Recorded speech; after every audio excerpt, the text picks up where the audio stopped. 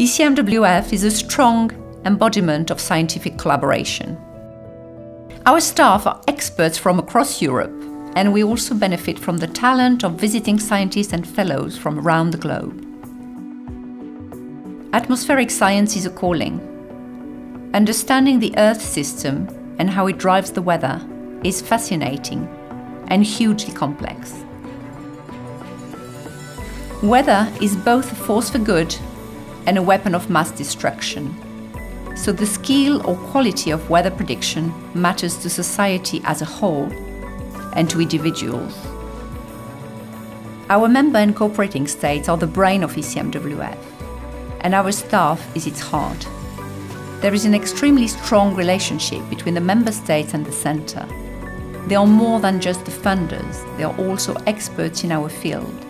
So discussions and decisions are never just about money. They are about how best to advance science so citizens and society are best equipped to deal with the impacts of severe weather.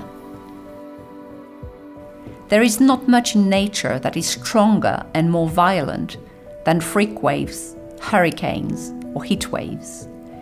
We cannot control the weather, but we can plan for it.